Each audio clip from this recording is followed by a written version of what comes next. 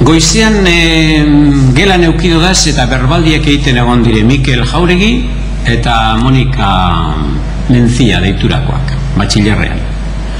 Mikelek egin dau larrabetzuko euskara. Eta Monikak egin dau euskara batuan. Euskara batu idatziaren kalkoa dan euskara batuan. Horrek eredu bi eta aukadaz gelan, zuek askotan eukiko dozu esan moduen.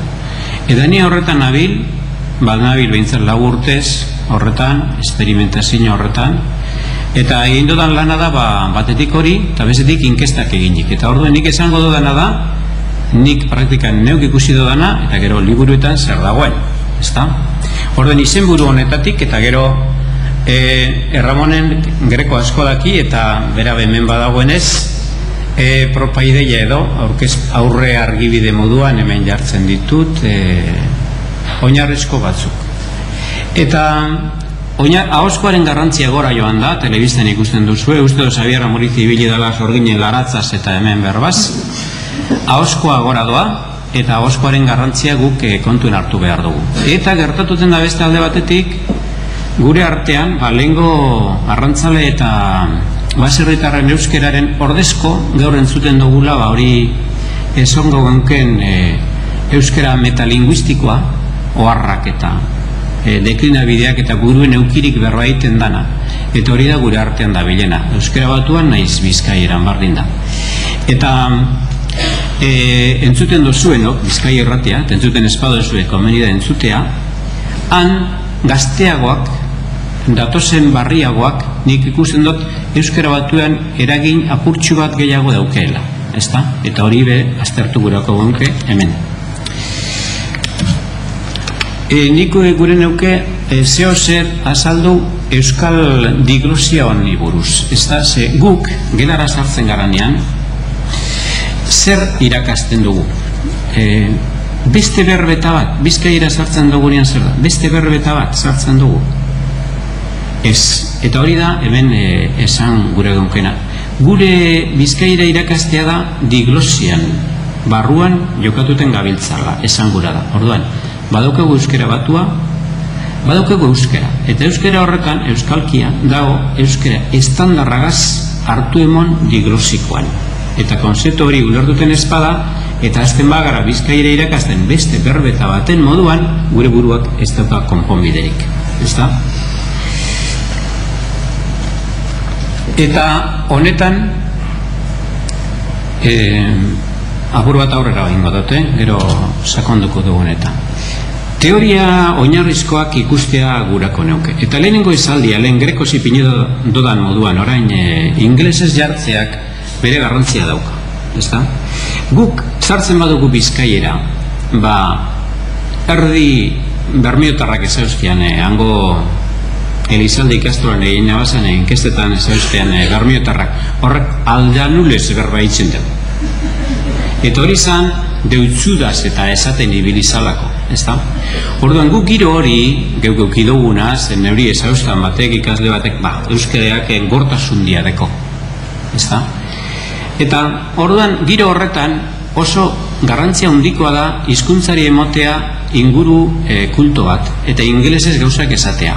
Eta adieraztea, Alemanian e, dialektoa eta eta Italian, eta Amerikako inglesa, ez dara bardin ezaten gaur e, eskiko edo mobila Europako inglesean eta Ameriketakoan, eta guzti hori esatea, hori guzti hori esatea, oso importantea da ikasleak gelditu ez ditezan, ba, euskalkia dala badakizu, ba, talosundeko kontu modu. Garrantzia ondikoa da, eta nik horregaitik inglesez ipintzen dut hori, ez? Eta gero, hiru esaldi do, hiru bat testo datoz hemen, irustez oinarrizkoak direnak, eta da. Lehenengoa, ez dakit irakurten da nortik. Handik irakurten da lan bai. egin godot ez dakit. E, ume batek eskolara doanean badaki bere kodigua euskarazkoa nahi zerdarazkoa eta hori jakinezik oinarria hau da dakigunetik ezin garazi. Eta ume batek eskolara joan zeuek egin aproba bat ba, egiten duzu etxean eta danean. Kalean badago umetxu bat eta e, lau urtekoa euskalduna kasu honetan eta dinezu zeuk apurtu duzu eta nik ez eta ergatiboa utz barik esango da nik ez zelan ibiliko nazniari ergatibo irakasten eta ergaldunak beharko ditu urteak narratibo ikasten orduan, metodo bi e, beharko dira hasieratik. Baina umeak eskolarakoan badaki bere kodigoa. Gero, Erramon Basoken e, aipamena behar beharrezkoa da. Behin betikoz jakin dezagula, jatorrizko iztunek daukatela kompetentzia eta Euskaldun zaharrak ez padira Euskaldun ez da Euskararik harimagabeko Euskaranto hil bat baizik. Dino Erramon Basokek. Hori oinarritzat hartzen badugu, eta umeak txikitsutan badakiela kodigoa kontutat hartzen badugu, badakiu nondik hasi, badakiu abia puntua zein da. Horrei, gehitzen badautzegu guk, zuek honetan psikologian gure lanbidea da hau, eskuntza psikologian hau zubelek dakarrena, Eskuntza psikologia guztia printzipio bakarrean bildu behar banu, onelase enuntziatuko nuke. Ikasketan eraginik handiena duen faktorea ikasleak badakiena da. Ikerbedi hori eta irakaz dadila konsekuenteki. Hori dino, hau Orduan, ikasleak dakienetik hasi behar dugula, badakiko digua eta euskaldun danak emoten dutzo gaitasun edo kompetentzia hizkuntzari ba oinarria badaukagu, ezta? Orduan guk ez ibili behar zabantzatan hor, hori Holanda, ezta? Eta honek zer dakar? Ba, askotan ibili gara gu eh, esanguran edo justifikatuguran bizkaiaren gora berak eta batek esaten dau. Ba, nik hori bizkaira kontua sineste edo ez sinestea da bizkaira gaietan. Eta beste batek esango da, ez da garrantzizkoa, garrantzizkoa da euskera erabiltea. Eta urrengoak esango da, bueno, hemen importantea da e, euskera ona izatea. Ez? Eta guk horren aurrean ba, erantzuna behar dugu. Eta non sortu zen premin hau e, erantzutekoa, ba, irugita sortzean euskaltzan diak euskera batua onartzerakoan, ba, e, osteko urteetan, labairu irrogeita marrean hasi izan, osteko urteetan zer zan kontua? Ba, justifikatu in behar zan, segaitik, euskera batu onartu bada, segaite jarraitzen duzu hain, bizkaira zirakaste. Eta hor sortu zan justifikatu beharra. Eta horre torri dira, gero argumentazioak eta gora berak, ezta? Eta horren aurrean, e, nik uste dut behingoz, arrisku guztiagaz, okerri biltekoagaz, uste dut, e, hausardi guztiagaz, esan behar dugula guk, e, zein teoriatan oinarritzen garangu bizkaira em, finkatzeko. Eta bat da lehenengo esan duguna gurea zia zer da gu daukaguna? Izkun berbeta bi dira. Ala bat da ala diglosian gabiltz hori da arazo bat konpondu beharrekoa. Gurengoa da baina euskalkia zer da? Beste berbeta bat abatuan ondoan haren euskalkia da zer da? Eta gero Hirugarrenengoa da psikologiak eskolakoak eh, hezkuntzakoak zer dino. Zerren zeren izenean hasi naitekeni Bizkaira irakasten. Eta laugarrena gaur aitatuko ez duguna hemen da eta nik goizeko sortziretan e, ikasgelara noanean zen material daukat egiteko. Zein behar donik, non daukat. Eta hori da, beste urte betean, edo e, plangintza baten egin behar dana. Guk eskuetan goizean zeu zer behar dugu eta hori da sortu behar dana eta gaur ez duguna hemen e, olako ari nausi batzu baina ez dugu zaipatuko hemen ezta? eta orduan, oinarri moduan hartzen dugu non azten da bizkaiera, non dago gipuzkera non dago euskera batua baikusi. ni horrela zibilen nintzenean burtik intibilen nintzen tazkenean halako baten aurkitu nuen teoria eta postu nintzen ezta? eta teoria nik hemen da zen honek izen motzok Wellrage eta Fergusonek niri e, inoren laguntzaz joan nintzen eroen gana baina nik aurkitu neban zera. Wellrage dino. Berbeta bi e, ukipenean. Hor nik berba teknoleto moduan euskera batuka mantenduko nuke. Ikutzen dagoz, ukipenean dagoz. Baina dino zu berbeta bi. Gure kontu ez da berbeta bi. Gure kontua da ia euskalki eta euskera batua zelan dago zen eta beratino ez bardin da bardin da egotea.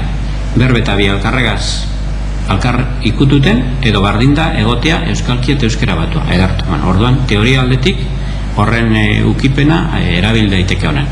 Eta gero eta ze egoeratan dago e, bizkaira euskera batuaren aurrean? Badiglosian hau da gorago dago euskera batua funtzioetan, funtzioetan hori emon jako eta Euskaldunok alan onartu dugu, eta Bizkaira dago berau, ulertuta bere zentzuan, Bizkaira literarioan testo bat izan daiteke euskara batuko baino hobea eta gorago dagoena baina funtzioetan Euskal Herri osorako euskara batua onartu dugu. Orduan hori jakinik guk zera onartuten dugu? Ba diglosia funtzionala. Eta funtzionala zer da? Ba basok etino, Ramon etino ba funtzionala da e, iparraldean e, frantzesa egonda moduan. E, pelota partida bat beratino ikustera joaten nintzenean ba euskara zentzuten entzuten ebanik eta orduanan e, euskara zan e, hizkuntza. Eta administrazioa joaten nintzenen edo jendarmeriara ba e, frantzesez orduan e, euskarak bere funtzioa eukan eta frantzesa berea. Eta berber hori da e, guk hemen proposatuten dugune bizkaierako funtzio batzutarako bizkaiera beste batzutarako euskara batua gelan gauza bera. Eta hor esaten da bizkaira arazoa daukazela baina euskara batua be bai. Euskara batua non erabiltzen da ba non erabili behar da ba telebistan ze programatan no egin behar da euskara batua? Hori ez dago konponduta eh? eta esaten dugu baietz ez da egia. Nik entzuten dut euskara batu ez dana edo zein aurkezpenetan edo zein programa e, ofizialetan teleberritik kanpo ez da hori araututa orduan arazo hori da bat eta txillardegiren eta basokea txillardegi gana jo behar da, txillardegi dino, guk geure e, diglosia edo endoglosia antolatu behar dugula. Eta irazia zer da ba? Irazia da, ba, alkarren artean, eraina, eragina eiten dabiltz euskera batua, eskaira literarioa eta lekuan lekukoa. Eta orduan, e, hemen entzun dut, maian berroa segondirin artean batek esan dugu bukatu. Bukatu euskara batutik etorri da. Batuaren bitartez, ondo, badator, babetor, ez da? Eta gero, e, lekuan lekukoa esate baterako euskaltzen dieko iztegi batuan sartu da laskitu berba. Berba hori laskitu mungialdekoa da, nik jakin dodala. Eta euskara batuan dago, orduan. E, lekuan lekukoak euskara batuaren dan eragin auki dago. Eta euskara batua Garmion bezaten da, hori, bat ikasi dut Ba, euskara batuak eragina zein e, aititea eta mamak ez daki e, oporrak zer dire badaki, eta ez dago alfabetatuta lekuan lekuko euskeran bizira eta oporrak zer dan badaki, orduan euskara batuak eragina dauka lekuan lekukoan Bizkaira literarioan, bizkaira literarioa gaur ezin da idatzi Euskara batua irurogeita sortzikoa onartu aurreko moduan. Euskara batuaren eragina dauko. Orduan, guk, gozon e, loberak esan dago moduen, ondo esan ta, ba, Euskara batuaren antzerantz aldan guztietan joten egin behar dugu alegin. Ezta? Orduan, guk badaukagu e, teoria bat, e, diglosiarena, badaukagu.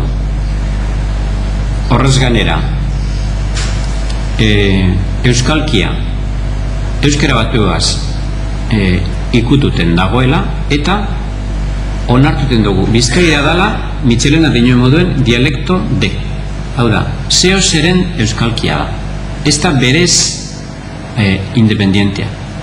Baina horrek ez dago esan gure euskalkia ez dela entea ze nik irakurten dut herria iparraldekoa astero eta nik ezin dut idatzean moduan orduan euskara batua jakin arren euskalkiak badauko bere tasuna. Orduan, hori da guk onartuten duguna euskalkiak badaukala bere izaera bat. Ezta? Eta horregaz nik gura neuke hemen begiratute ondo zelan hiru e, en, mm, nortasun onartzen dugu zan eta ez bat ez bi ze honen bitartez gurustez argituten da hemen iton dudan bermeon zer egin behar da herriko euskeraz, ez da? Hemen da, eta guk argitu gura geunke hau. Eta ikusi gure geunke ze urruntasun dagoen, bizkairatik euskera batura, zenbatan aman komunean hartzen da bena, biek, eta zenbat bakoitzak berea mantentzen da bat. Ze urrengokoan, ikusten da, erdiko euskalki bat, gipuzkera hartzen badugu, hor, euskalkiak eta euskera batuak askoz arlo bateratoa daukia. Eta horrek, dakar gero, metodoa gelan desbardin erabiltea, ze, e, gipuzkerakoak berekotik batura, ba, pausutxu bat baino ez emon behar, eta bizkairakoak pausu handiago emon behar da. Ezta? Eta hor ikusten dugu, ze arlo handia daukian euskara bat, batuak eta euskalkiak kasu horretan. Zenbat dira gure euskalkiak, ba, gu eskoaz hor sartzen, eh?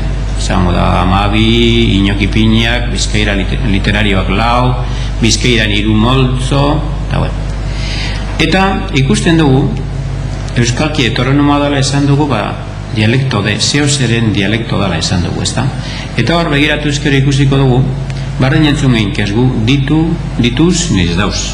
Entzun geinkez, ginan eta gintzasan, eta ertzaintza, bueno, dauz entzunarren, eta dituz entzunarren haoz eta erabilarren, gu joango gara ditu, esatera.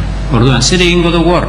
Egingo duguna da, dakigunetik uste dugunera izan behar dagoela, arau izatera. Eta horretarako, hartzen duguna da gogoan, beti persona jakin bat, persona konkreto hartzen dugu gogoan. Hau da, gure gelara datorren eskatu edo mutilak daukan euskalkiaren kontzientzia hartzen dugu. Ez gramatikan datorren abizkaira eskoa zer dan edo ez izen zan, ez guk dugu berak dakiena. Eta hori, inkestatan, eta ondo danean, e, agertzen argi eta garbi agertuten da. Bukatu, dakardia, eurak, euskara batuko dala. Eta amaitu, ez. Bukatu, euneko larogeita bostek euskera batu dela, eta barik bizkaira dela. Orduan eure kontzientzia bat badaukia, zer dan, e, gure amabi, amala urtekoak badaki hori. Orduan hor kontzientzia bat dago, zer dan bizkaiera eta zer dan euskera batua. Orduan guazten gara, dauz edo dituzetik, baina beti proposatzen dut zugu, ba, ditu, euskera batuaren antzekoa eta euskera batuagotik sakabanatu agora etorri denez e, menderi mende, ba, egiten dut zugu baturantz bera bizkaira bere lehen batuago egon zan sasoirantz bultzatzen dugu. Eta gero, gut daukagun arazoetariko bat konpondu bakoa da, A ala Ea berbak ez da, Eleizea, gaur irakurri dute egunkarian, e, mai inguru egon zala eta ez dakit onintzen beita edo nok idatzi eta berba emon eutzon, da, ta, ala berbea emon eutzon, bizkaira hori irakasten da berbea emon eutzon, edo berbia, berbie, esan bai, baina berbea idatzi berba. Arazoa daukagu hor, eta hori kontuan hartu beharrekoa da. Guk proposatuko dugu, ba, ea, bizkaira zerabilteko, bai, baina berba teknikoa datozenean, ba, karrika, iparraldetia datorrenean, ba, karrika esaten eskaibili, edo ertzaintzea, ez dugu esango, eta domekean esaten ez da moduen, domekan baino, eta orden hor, bideak proposatzen dira, baina e, oinarria da teoriarako jakitea bizkaira dela zeo zen euskalkia. Eta euskalkiak bere izera dauko. Guk begiratuten badugu, neba erabiltzen dugu, eta neba arreba, eta guk eskatu dugu behinta barriro hori euskara batuan sartzeko, baina hori sartuko da euskara batuan, geuk euskara batu egiten dugunean. Besteak, ez euskue erabiliko. Ni bintzat horretan komentzitzen hau. Eta ikusten dugu, nire nortasuna daukala, bizkaierak, eta euskera batuak ez daukozen aberastasunak badauko zela eta horret dire guk gelan landu behar dugu zenak edo zeren ganetik eta gero hirugarren arazoa eskuntzaren psikologia aldetik zer jakin behar dugu ba hori da zuek onduen dakizuena eta gure lanbidea ezta? eta hemen esan behar duguna giltza e, beren ikasketa esan guratzua dela hau da umeak dakienetik abiatutea da giltza eskola eta hori egiten dugu edo egin gura dugu beti ez da, gure alegina hori da. Eta lehen irakurri dugun e, aipamen hori edo zita hori kontuan hartu ezkero hortik ikadleak dakienetik e, astea da e, giltza ikasketa esanguratzu edo signifikatibo guk irakurri dugunean, ezta? Eta hor badakigu familia ardaldunetik datorrena, ama erderatik datorrena edo, ama euskeratik datorrena, ez datozela egoera barian. Eta guk ezingo dugu metodo bera erabili bientzat. Hori da, oinarritzat hartzen duguna. Eta horretan, gero zuek irakurri duzuen ere moduan e, bigozkita garapen hurbileko gunea eta neska mutil horri guk jartzen badautzegu berak dakienetik ulertu ezin dauan gai bat, bai matematikan, euskeran, historian edo zertan, galdu egiten da. Orden guk, hori da hemen aitatu da nalen, zubia egin behar dugu, berak dakienetik guk barri moduen jartzen dugun gaira heltzeko bidea eukidaia, ezta? Eta hor kokatu dugu guk bizkaiera literario. Hau orain eh, argiago asalduko dugu apur bat. Orduan hemen, interesgarriena da, eta gehiagi luzatu barik jakitea, e, hau zubel eta irakurten baduzue, zeuek ikusiko duzuen ebre moduan, e, norainoko e, argitasuna emoten duen hau zubelek, dakigunetik ez dakigunera joateko. Ez euskara bakarrik edo zein gaitan, baina gure kasuan, ba, interesgarri da e, euskararako hartzea. E, inkestak egiteko nik eta ez ikusteko geurean bakarrik, ba, mauletik hasi nintzen, zuberora joan nintzen, lehenengo zara heltzerakoan, aurkitu nituenean hango neska mutilak zuberera zorroetan ni postu nintzen, egi, egi esan behar dut. Eta ni zertan joango nintzen bestera zuberora euskera batua entzuten. Ja.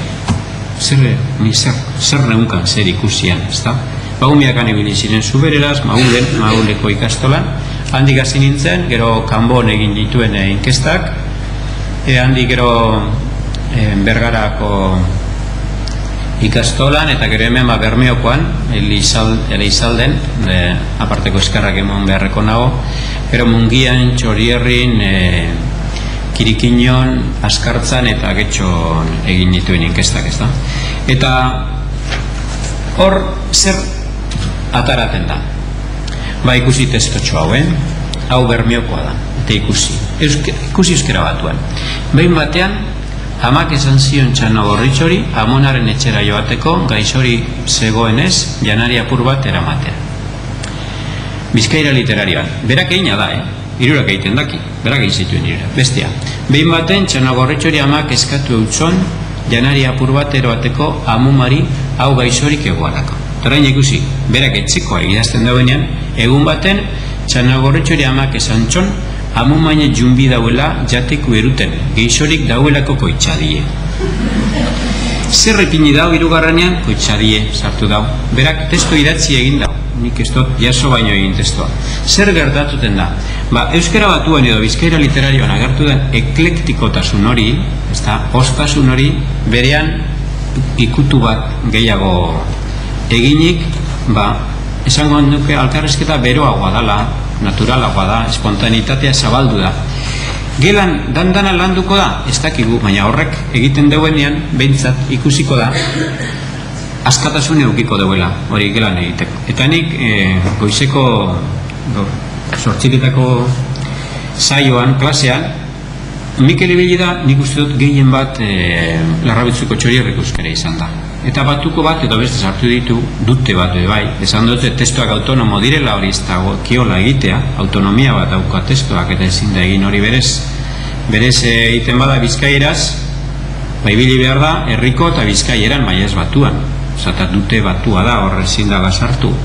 Eta hori bai ez da baina bili da berean ez da lasai bere errakistroan eta hor espontaneidade handi bat dago. Eta guk erabili dugu eta geutarteko euskara batu irekasten ibilidin garanean ba zer egin dugu? Ba eduki dugu ba askotan esan ezina aditzaren aurrean isildu eta holakoak geuk ikusi dugu. Eta lehenengo lehenengo hizkuntzan espontaneitatea da jariotasuna eta hori ez da eta adibide moduan ipiniko dut beste iparraldeko testo bat honek bi baino ez ditu egiten Otsoak ikusi zuen eta arbol baten gibelean gordezen txanogorritxoren berakaban idazten dute segaz, eh?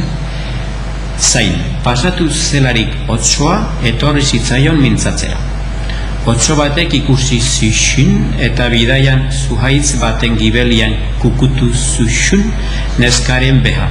Txanogorritxu pasatu zuxulaik, otsua jin sakosin elekatzeat. Nile nengoz irakurren egunean, bai behar meokoaren eta hau, esan hau, literatura da, ez e, idazkeratik, baina e, arretuta gelditu nintzen, ez da? Testo oso hau langoa dauka honek. Egun baten txanogorritxuri amak esan txon, hauen bermekoarena da, eh? eta gero beste ingo. Amak esan txon, amu maine jumbi dauela jatekue eruten gaixorik dauelako koitxarie. Txano gorritxuk aman esanari kasu entxon eta antxun zan posposik lorak batzien bidien. Bai alako baten otso santar bat agertu jatso. Eta dinotxo hori bidie askoz beluzia uedalez, hobeto datortxola beste jutie. Beste tentelak kasu intxon, eta bada espadako otxuek aurri hartun eta amuman etxera ailegazan askoz beharin jau. Honek amuma jan zauen eta oire barrure sartun zan amama disfrazata. Ez da? Hori herrikoan egiten da. Bizkaira literarioa da hori jantzia, baina kalifikatiboa kendu egiten ditu berak. Orduan bera baduka bere gogoan zeo zer, dinotzona, berak erregistroak zein non erabili daitekeen. Ez da? Eta iparaldekoaren testoa irakurri ingo dut, ze, dino, behin bazuxun, gorritxu izeneko neskatxo bat, bere etxetik, joan zuxun, zare batekin, jatekoz betia, bere amatxiri atxaskariaren eramaitiat. Kotxo batek ikusi zuxun, eta bidaian zuaiz baten gibelian kukutu zuxun, neskaren beha. Txano pasatu zuzulaik, otxua jintzako xun elekatzeat. Norata bian xira hola. Aba, otxuak etxeko bidia untxa ezautzen baitzien, beste bide bat hartu zixin laburro. Eta bere lekia hartu oezolan. Eta, bueno, ni testo hauen honen aurrean, e, aurkituten da, esaten dana, ba, irakasle moduan, nik zer. Badaki hori, handagoenak, nik zer hemen ikusten dana da guk eredu bi daukagu zela gelan, gehienetan herri den baten egongo dira danak euskera batukoak eta beste baten bat danak izkairakoak baina askotan daukaguz ba, danetarikoak guk ez da guk e, teorian alde argi ukizkero zer dan ba nik uste dut praktikan gauza asko bideratuten direla. Ez danak baina gauza asko ez da eta bata da gorrian e, Euskaldun barriak darabilen bidea hori ikusiko duzu etxepetzen liburuan, ba, izkera formaletik azten da, gelan berbeta formala ikasten dago, ezta? Baina izkera formal horretik gero joango da, joatekotan etxeko e, berbetara eta familiakora. Eta inoz, familia ba, badauko berak, han egingo da etxeko berbeta hori.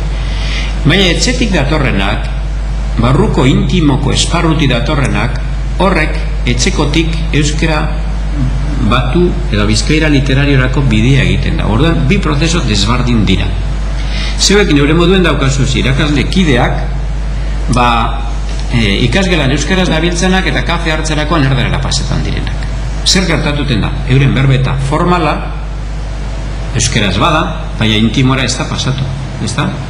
Eta besteak, etxetidakienak dira, gure laguntzailerik onenak enak. Horretira, euskeraz bizi direnak, euskeraz pentsatuz eta mesetan dabiltzanak, eta horrek, euskera estandarra ikastea beste prozeso desberdin bata. Biak batera erabilteak ekarriko leuken kaltea da, etxetik euskera dakiena guk murgil dutea. E, besteagaz, prozeso berean. Ezta? Eta hori da, egin gura ez duguna.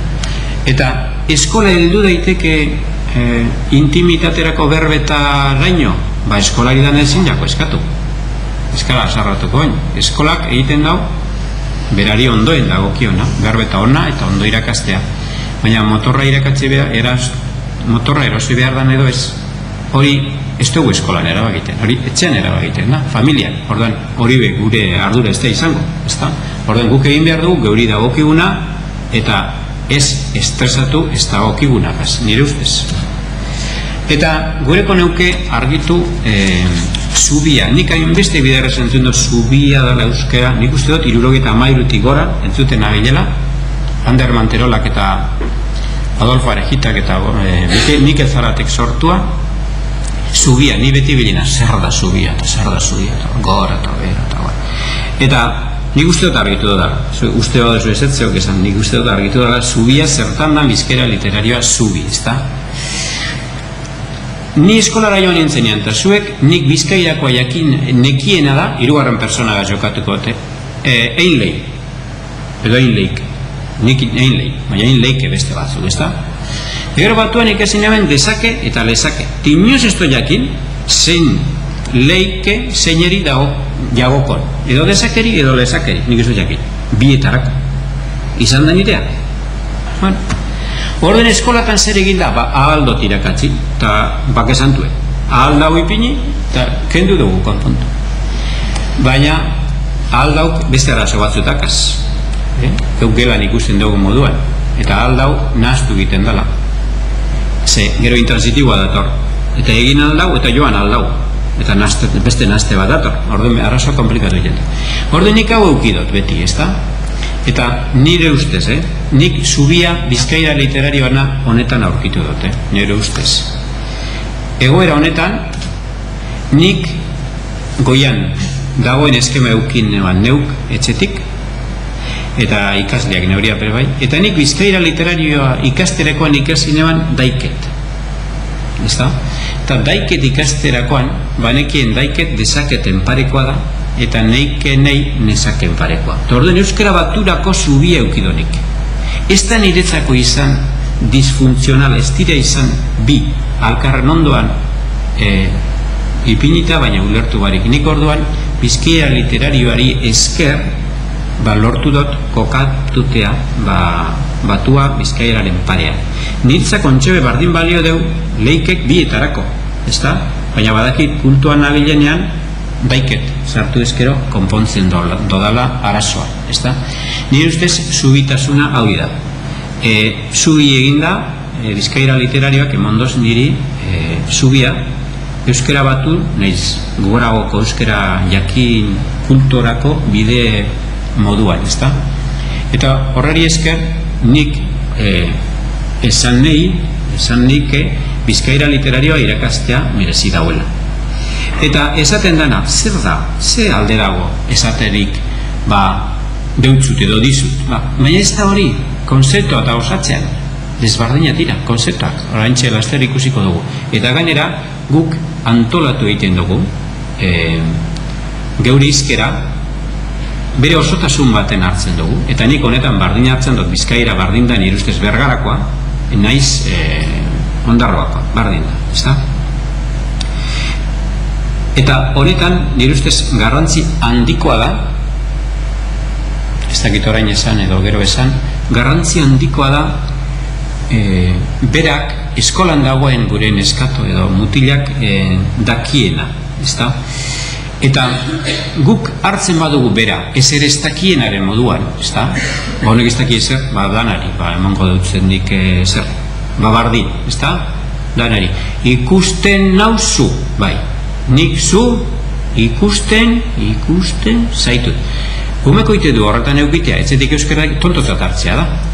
Eta ala neukidu urte askotan. Orduan, nik ino dez urteak eton dino e, akatzak egiten jarraitzen da, ba, ikastea, ikastea gustatzen jat. Ez dakit ikasten, ezin dut ikasi. Ikaste, ikasi, ikaste.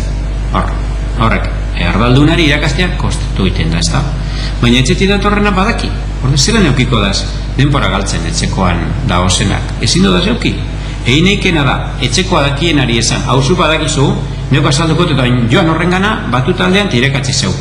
Hori bai, eta bera da orduan eragile gelan, baina ni beste hartzen badot, batontotzat hartzen dut. Ez da? Gauza bera gertatuten da, ergatiboagaz, eta abar eta abar. Eta euskalkien artean be bai. Nizela neukiko dut lekunberriko aurtxo bat, zelan eukiko dut gelan esaten e, naiz eta gero sagua Ak badaki etxerik, betirik daki esaten ez eta zetaren berizketa ageztu behar baina munitibarrekoa bada jarraitu beharko dugu ez eta zetaz urteak tenore moduan gero ez dugu esango gani ez? orduan ezin dut prozeso bere euki zelan eukiko donik gipuzkoar bat? Berez, gip, gipuzkoar ez probintziz, giputza e, euskalkiz dana mugagabean arazo handi eta ukasana eta egunkari irakurtea baina ez da urtetan, urtetan. Tu urtietan esaten dugu eta guz sekula eskarako fonditen. Urtietan, urteetan, bie direla badakigu. Eta hi naztatzen dira behin eta barriro zelan egon gonaz, haiek eta gu egon gara depora bera horretan baina aditza datorrenean gureak ana aditzea sartu behar ditu orduak mugagabean sartiz dituenak.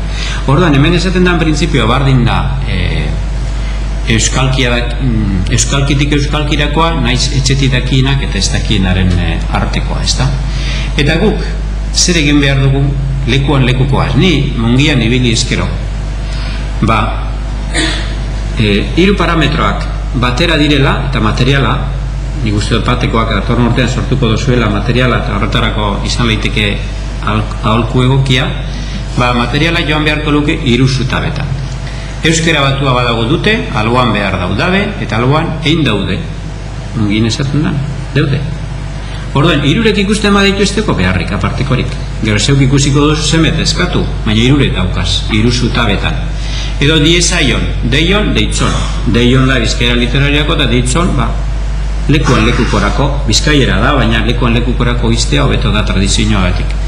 Iru zutabeak euki, aurrean, eta esan, gazteak danak parametro guztiak euki behar ditu aurrean. Eta bardin da euskara batuko bada, idatzioin bizkaiera zuk. Eta nik ez dakit hartuta da, idatzi, eta idatzen dugu. Ni bilbokoa daukadaz, ikasleak, eta kajatu egiten dira. Guk ez daukagu euskara, guk ez daukagu euskalkirik.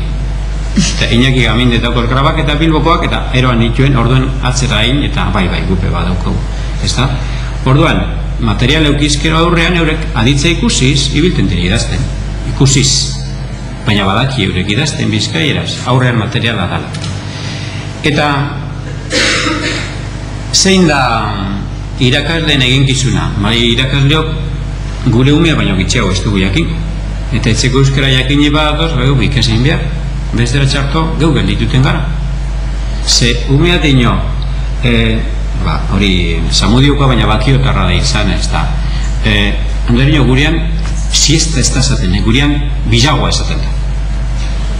Anderino esan zuten, zuzeban dakitxo hori da, eta gurean esaten da, bizagoa esaten da Orduan, zein behar dugu nartu, aidartu, biagoa, abudatu besteak, biagoa, ez? Ikasle, orduan gu jakinen behar dugu bizkaiera literarioa. Eta liberatut egon behar bada, ibila bete, ba egonen behar da. Eta beste biderik, gu jakinen behar dugu. Eta e, ikasleen egin kizuna, ba ikaslea da gure gidaria. Guri ikasleak, ni zelan irak, zelan irakatziko donik, Gernikakoak e, darabil zuen, nezakin orainoko da, gernikaldean bai bintzat. Upielakoa. Nik ez dakit nozera bilten duzuen. Upielako ez dakit zer, upielako. Nik entzuten du, baina ez dakit nozera bili. Nok daki hori, angoak. Nik ikaslari duen behar dutzat, eta handik ikasi. Edo arratiera joaten azenean, ban entzuten dute. Ba, gaur denpora txarrat dagoan alez, a eta guzti. Dagoan alez. No? Eta gero baki mikoleta darabilela dagoan alez, eh? Mungiko daude darabile moduen amazazpi garramentean, eh? Baina, bueno, ni dagoan alez. Nok irakatziko dugu berak, ikasleak. Orduen ikaslearen zer egina zer da? Ba, bera dakina, guri, eta gau berea jakinez, ba, irakastea da zer egina, ez da? Hauzko komunikazioa dan zer, ba, irakasle, ikasleak ibili behar dau, bere registro lasaien ibili behar dau. Euskara batu ikasi dagoena, ba, euskara batu erabiliko deusku, ez da? Baina bildur izaten gara. Baina bizkaire ikasi behar dago. Ikasi behar dago ez? Eite badan ikasiko dago. Zebiliko da inguru eh? tetorriko da eta joan badan zagardo tegira eta beste ekibiliko dira tentzungo dago eta ni badako da ikasleak eta euskara batuen egin eta arantza aurreko itxak esan dugu moduan deurie sartzen dago bitartean. Eta nondi bentzun egiten da balboan? Orden ez da kontua Eta barakaldon zer egin behar da? Ba, barakaldon bizkairaren barri ez daukan ikasle hori geu gabiltz marginatzen. Marginatu egiten dugu. Eta esaten dugu, euskere erabili egiten bada, bizkairako jentea aurkituko da. Eta erabilten ez badau, ba orduen esan da egun, ez erabiliko ez tan berbete irakasten gabiltz. Orduen egongo gara askoz patxadatzu. Bai, erabiltekoa bada, ba, nahi eta ez egongo da hartu emona e, bata eta bestearen artean.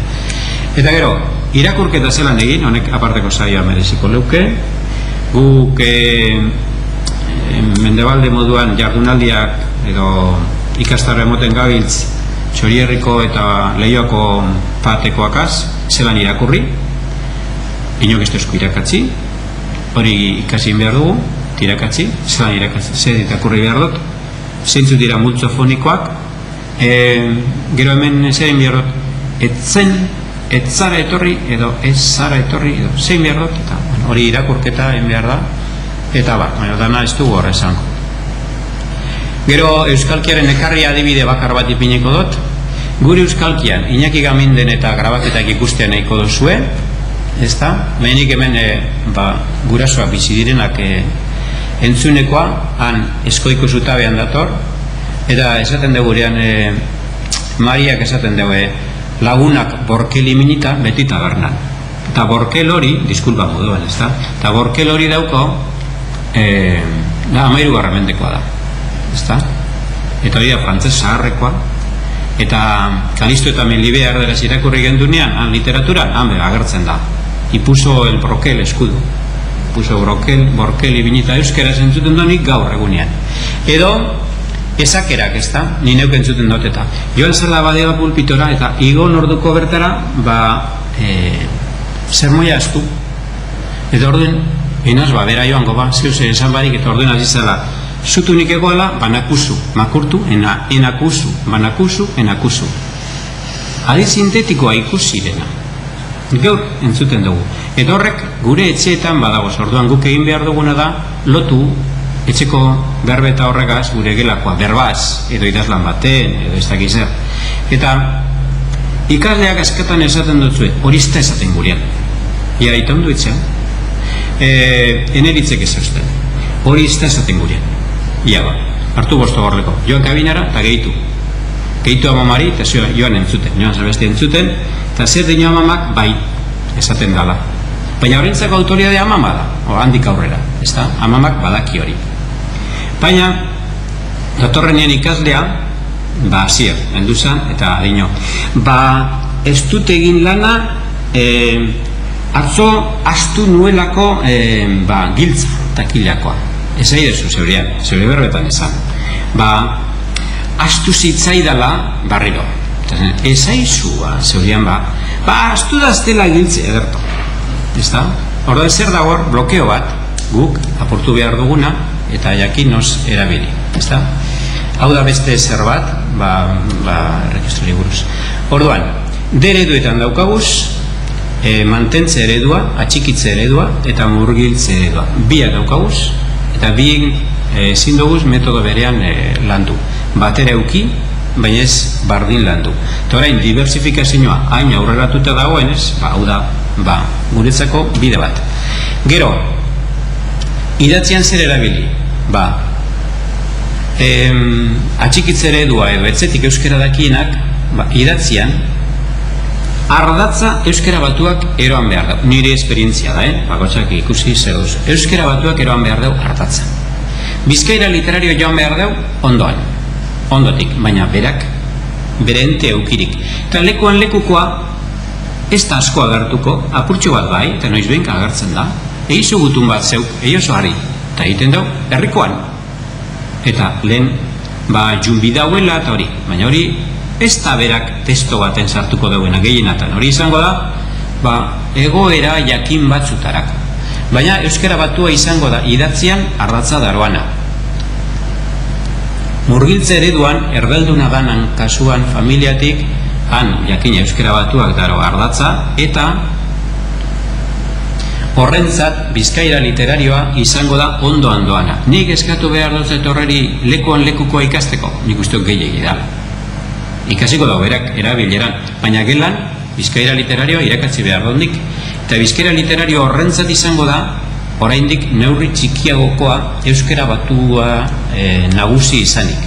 Baina ontzat hartzen dugu erabil, erabili egiten da, erabilten ikasi bai. Eta ahoskoan zer? Ba etxekoak gehien bat bizkaira literario erabiliko da etxetik datorrenak Baina lekuan lekukoa, horre ipini doni marrak apurtuta apurtxoa zirkuloa, lekunan lekukoarena, ze bizkaira literarioa eta etxekoa batu egiten dira, eta nik, nik egia esan behar eh?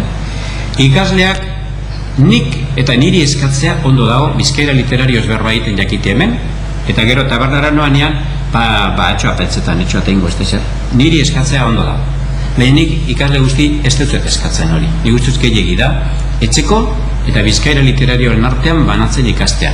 Horren bizkaira literarioa ulertzen dut oskoan, etxekoa eta ikasi dauen bizkaira literarioa bien artean egiten dan osotasun bat eta esango genduke berbako zorik esatea eta hori. hori da naturaltasunez eta euskara batua be jakin behar dago ez da, maia euskara batua jakingo dago modu formaletarako e, azaldu gai hori ba, azalduko da historiako gai bat euskara batuan hori egingo dago baina komunikazio asko eta gehienak eta izango dira bizkeira literario etzeko ornitu horretan ez da, eta sartzen badago hauskoan etzeko aditza ba ondo, ondo dago. Ondo dago esatea berari zu autonomoa da testua eta jakin behar duzu hori izan duzu moduen badako zure bizkaira literarioko hau hori bai, baina berez hori da. Eta murgiltze ereduko azere ingo dago? Ahoskoan, ba, gehien bat euskara batua dara bil ez da, baina bizkaira literarioko e, jakinein behar da bizkaira literarioa neurri baten pasiboki beti eta gero neurri baten ni bintzet ikasleak horretan ez daukat arazorik eurak e, dabiltzanean e, euskara batuan da biltzila zai, ez da? Baina sartzen da bez, eurak alako e, bizkaira literarioko elementu asko, baina alegin behar da, bai zibilteko naztatzen, ez da? Uri, uri esatea, bueno, ez da, gortzartu, baina esan gure dut, bada euskara batuan eta gero bizkaira naztea ez egitea da, hor eskatzen dan e, bakarra. Eta ondorioa, irakatzi egin behar dela, eskolak etxetik euskalkia jakinek datorrena, datorren ikaslea dakienetik ez dakienera eroan behar dau. Euskara batua euskalkiaren arartekotasun ikasi behar da, beti bere ikasketa esanguratsuaren arabera. Beraz hor, mantentze eredua edo atxikitze eredua proposatzen du. Eta alan bere, ikasitako lehen berbeta erdera izan arren, neskamutilak helduak diranean euskara erabili leikia errazen. Euskaldun barri asko ezagututen dugu oso ondo darabiliana euskera hori be badakigu murgiltze ereduak emoten duena. Eta em, etxetiko berbeta ez landuteak ekarriko leukez eta dakaz kalteak. Zein? Ba hori inkestatan ikusten, e, ikusten da etxetik zuzen zuzen ekarri ondo esaten dan gauza bat eskolako kertu esate baterako usain esaten dugu ematek eta ene esaten ondo daki eta gero zai egon idazten dau hoi eskolak emondotzo oker hori. Eguk egin behar duguna eta hasi bagara beratakienetik du zain eta igon edo hien edo esan badau ba hor horregaz lotu behar dugu bere hien edo zain egotea. Eta ikasten espada ba euskalkia zer gertatu da fosilizatu egiten dira formak. Manora bako esaten badaki baina ez daki bako gero aparte erabilten. Eta bai, diru bako ez daki zer fosilizatu egiten da etzekoa eta orduan ez duko evoluziorik. Eta ganera ez da alfabetatuten ez bada irekazten bizkaira literarioa horren e, alde ez dagoen aurrean defenditu lehi argita garbi. Ba ez da alfabetatuten norbere berbetan eta norbere berbeta dira herrietako ber, e, izenak lekun izenak toponimoak eta bar, deiturak eta danak. Edanik e, hau neure buruan eta zu ez ikusiko zen duen ba Otz, ikasi neuen lehenengoz, TS-az, H eta TS, ruido esateko, otz, ah, euskara batua, otz. Buruz ikasi, hori da, proposatu den ez dugun, hau da, dakigunetik ez dakigunera bagoaz, ez da buruz ikaste, hau da, zentzuz, dakigunagaz, relazionatuta ikaste, ez da. Ba, otz, eta gero, alango baten dino, e, nire kanpaiotza esaten duguta. Kanpaiotza egunero esaten dugu, gauk, eta hori da, kanpaian zarata. Eta nik euskera batu edala eta urruneko berbetia dala eta ibilinaz, nahi dut inogu egunero, kanpaiotza. Eta horre moduan, eta entzuten nuen, non dago ba, umea txikoan hartu eta handi txine joan da, handi txine, handi txine, txina beba da, txine, zer da? Eta gero alako baten iparaldekoa, handik aitzina. Eta gero txori irrin esaten da handi txine, hau marki. Eta berton deku etxea, ikusi ze alde dagoen handi txine irakasterik etxekotik abiatuta, zeutak izuna da, euskera batu zeurea da esatea, edo dezazun hori euskera batu da. Baina ikusten duen, ikusten dituena gero, ba, errefrauak, han ikusiko du, eta mitxeren atakar hori, ez, ez hori bizkaiera zaharrean bazala. Ez da, orduan euskera batuak euria bebata, eta hori irakatzi egin behar dugu gela, ez da? Eta, ganera, irakazen espada bizkaira dan moduan, berak dakarrena gertatuten da euskara batua hartzen da uniforme moduan itxuraz katalanak atzo esan dako moduan eta uste da ezin ikutuko e, estandarra dela alderantziz izan beharrean aberazten ibili beharrean. Eta azkenik orduan Euskalkia landu ezean Euskal ez ikasten. Ez zuzen ez egoki ez eta kalitatez. Eskerrik asko Juan Luis Bikotxean eh, ez dakit ban, jaunetan orduetan eh, bueno, txalba josinkiez eh? Ja, bai,